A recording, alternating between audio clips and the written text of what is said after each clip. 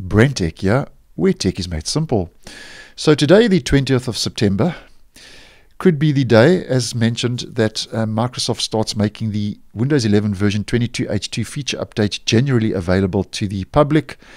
And um, that means if it does start rolling out today, um, they would use a phased, controlled, staggered rollout. So not all devices would start getting the update um, um, at the get go. Now, as mentioned, previously. Microsoft has never officially confirmed today, the 20th of September, to be the release date for the operating system, but there are sources that are suggesting that today could be the day.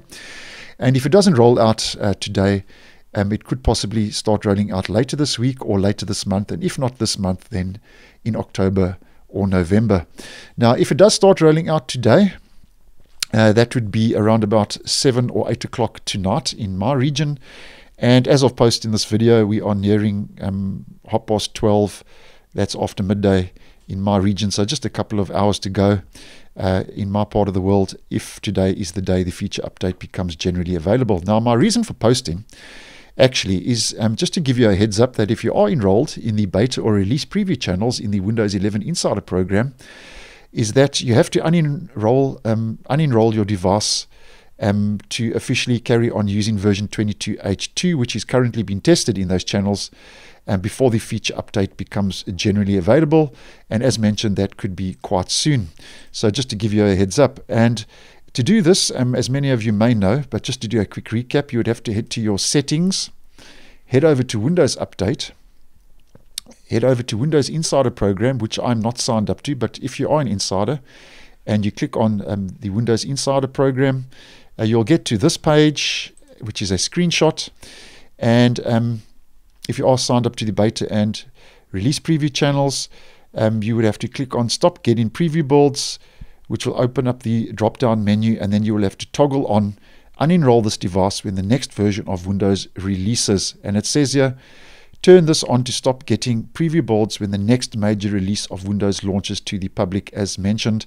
Until then, your device will continue to get insider builds to keep it secure.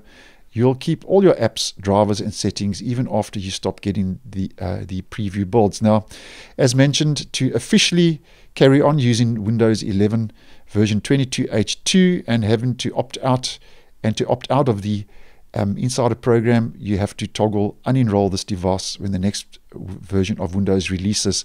Now, if you don't do this before the the, the feature update does uh, get rolled out to the general public, which, as mentioned, could be um, uh, as early as today, um, then um, you will have to roll your system back within 10 days with to prevent you from doing a clean install completely. So to do this, just to do a quick recap, um, you would have to head to System and click on Recovery. Now I'm not signed up to the Insider program, but if you are, you'd have to click on Go Back before uh, within 10 days, and um, that's to prevent you from doing a clean uh, reinstall of your Windows 11 operating system. So just a heads up, just to keep you posted, that um, because the feature update could start rolling out later today, that um, you need to unenroll as mentioned to carry on officially using Windows 11 version 22H2 and to get out of the Insider program. So thanks for watching and I will see you in the next one.